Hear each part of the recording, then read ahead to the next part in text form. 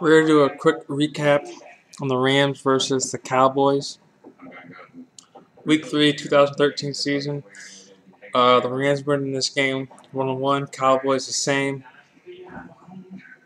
Both teams that won the that week week one games and uh, didn't didn't perform as well in the second week. So it was a game where you felt both teams were coming in looking to uh, get to get their justice in and prove that they are playoff caliber teams and potentially conference uh, divisional championship teams. However, one team must win, one team must lose, excluding the draw.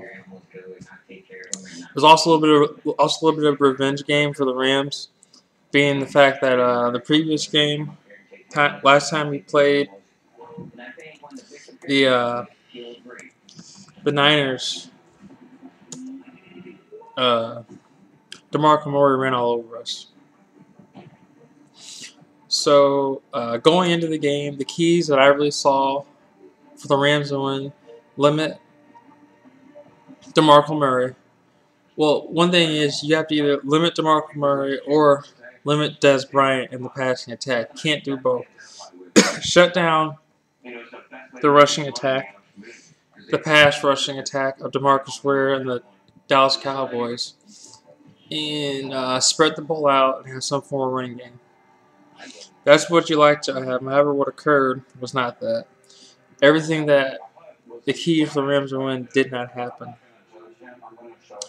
To start with, the game was a blowout. Uh, Cowboys about to win the game uh, 31 to seven. They led uh, 17 to nothing at half and they blew the Rams out. The Rams scored one touchdown in the third, but it didn't didn't really mean anything, and they really struggled to to establish themselves. let's look into the stats. Sam Bradford was 29 for 48, 240 yards, one touchdown. Tony was 17 for 24, 210, 210 yards, three touchdowns. Now, he wasn't. Sam Bradford threw for more yards in this game, however, they, it really didn't matter.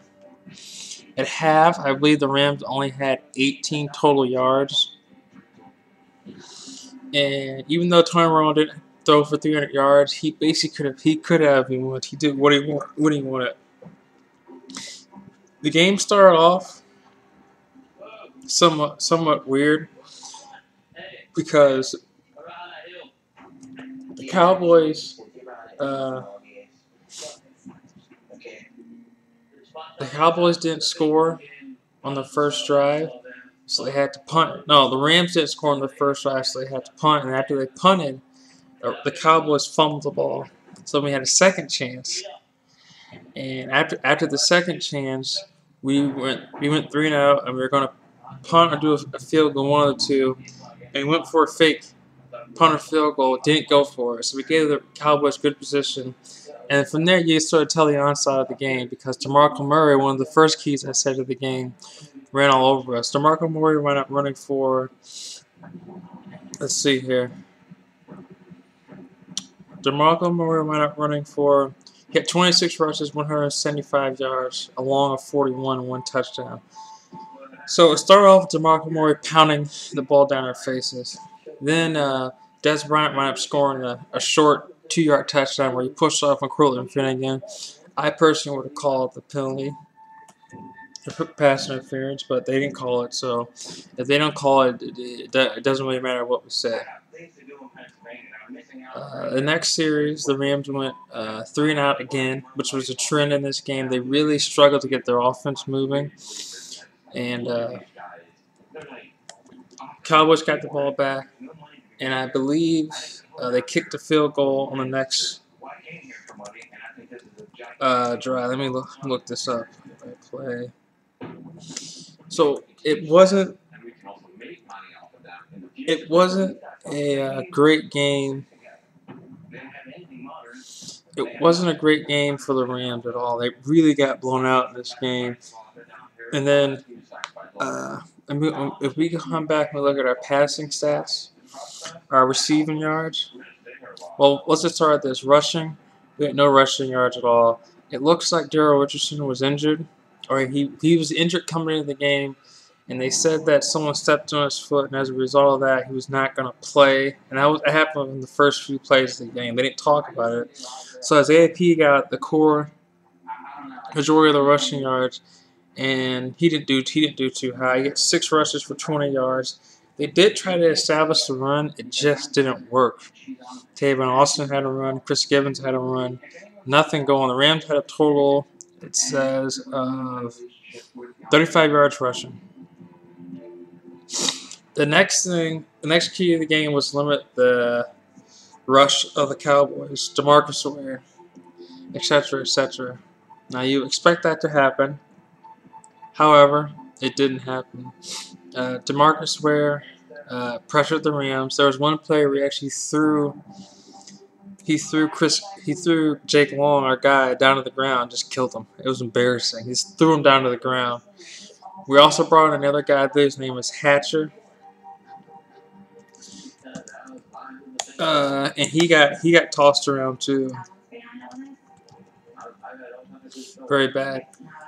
So we couldn't we couldn't protect the Rams, and one thing you're starting to see with the Rams because we don't have a good running game, we're going to become a, a key a key passing team because that's the only way we're going to win. Now we're not able to go deep, and uh, it was a bad it was a bad showing because all we could do was do short routes every single time. It seemed that Bradford tried to drop back and do a long pass or a five step drop where he had to read the offense, scan. He got sacked. I believe that they had five sacks in the first half, and it's and it was it was a thing that you're a little bit shocked by that because you thought Demarcus Ware and that that Cowboys defense would get to the Rams, but you didn't think they would get to them the way the way they did in this game, which was uh, which was embarrassing. They just they just pummeled him, pummeled him the whole whole game. Bradford he didn't have a good game, but then again, I don't think anyone would have had a good game with this much pressure on him. So that was another thing to take into account. And it's two games in a row the Rams offense has started off really slow. That's two games in a row where the Rams have had they only they only they scored three points in the first half. So two two halves they scored a total of three points, and their opponents have scored a total of 24 plus 17 is what 41. Yeah, 41. So they scored 41, 41 to three, first two halves, which is not going to cut it. And another thing to take note note in this game was there were a lot of drops I think Givens had a fumble. Austin had a drop. Cook had a drop. There are a lot of drops in this game. The Rams looked they looked ill prepared. They didn't look like, they didn't look like they were com- they didn't look like they were ready to play. Another uh, key stat takeaway from this game is uh, let's look at our, our defense.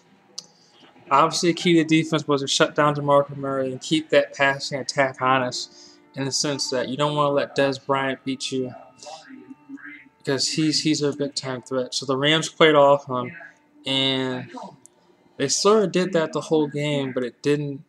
It didn't really work out. It seemed like Tony Romo could do what he want when he wanted, because Dez Bryant. See if we pull these stats up.